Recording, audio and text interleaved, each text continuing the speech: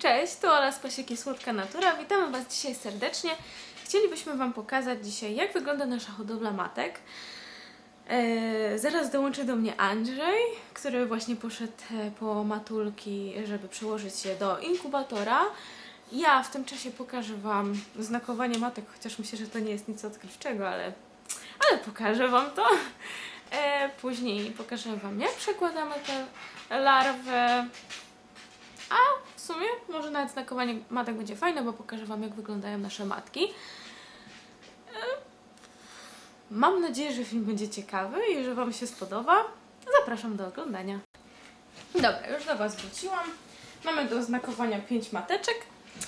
E, Ja do znakowania używam takiego urządzenia, które można kupić w firmie Łysoń. Tutaj bardzo fajnie można oznakować mamusię. O, tutaj jest zamknięcie, później palcem od spodu dopychamy tą gąbeczkę i e, mamy pewność, że nie zabijemy matki, ponieważ tutaj jest gąbeczka i ona nawet, nie wiem czy to zobaczycie, ale ona do samego końca, nie, tego nie widać tutaj.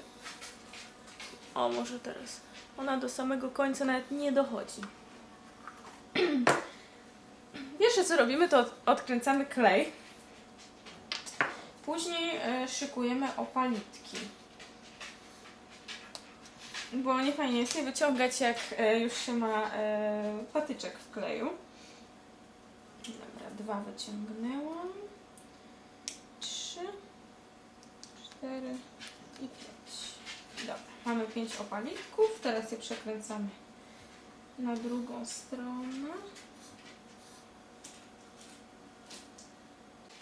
Przeszkodził nam Andrzej, bo trzeba było przełożyć matki do inkubatora. Ale w sumie to nawet dobrze, bo zapomnieliśmy przygotować klateczek. Ja skleroza.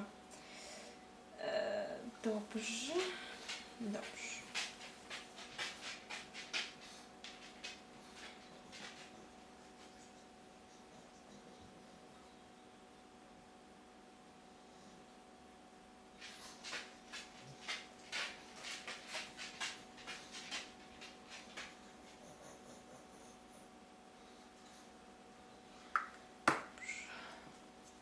Klej jakiego używamy to szelak. Nie wiem czy się... No już nie jest w jakimś e, super dobrym stanie. A nie. I teraz wypuszczamy matulkę. I łapiemy do klateczki. I później dodajemy pszczoły. I tak to wygląda. No, a ta jest taka fajna, widzicie ją? Super, nie? Śliczna. Teraz będziemy przygotowywać ramkę hodowlaną. Jak widzicie, mamy tutaj sporo sprzętu do matek, nie widać przez to światło. Ale łyżeczki do wyciągania służą nam tylko do wyciągania wosku z miseczek.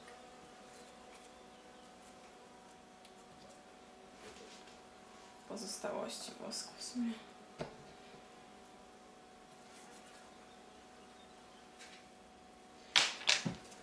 Może od razu Wam już pokażę. My do e, hodowli matek używamy swoich e, miseczek z wosku. Wolimy je od tych plastikowych. Jakoś nam się lepiej na nich pracuje.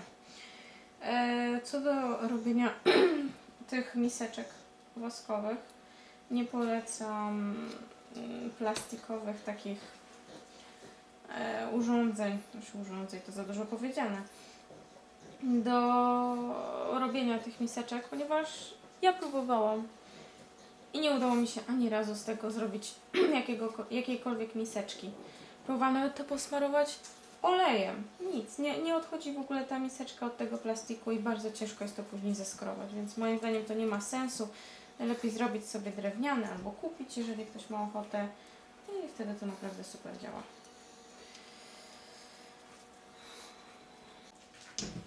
Dobra, teraz możemy wsadzać miseczki. Pamiętajcie, żeby to było mocno oskrowane z tego wosku, bo ta miseczka Wam tu nie wejdzie. I miseczka musi być wyżej niż zakończenie tego białego, bo inaczej Wam tego nie pociągnie.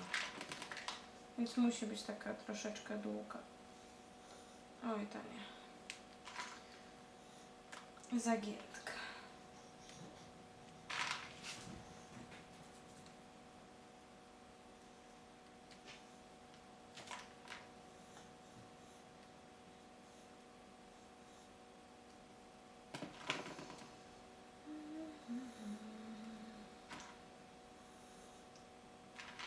I tak wsadzamy, a później smarujemy każdą z miseczek miodem. I robisz to tak, zobacz. Ja sobie biorę pędzelek, delikatnie go przyślinię.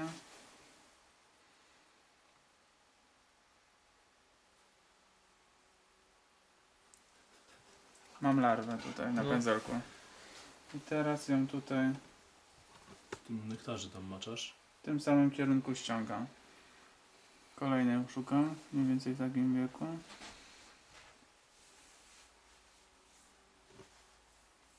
Jest larwa. I ściągasz na mleczko. Mleczko czy nektar? No nektar, nektar, ale trochę, trochę mleczka też z nią przenoszę.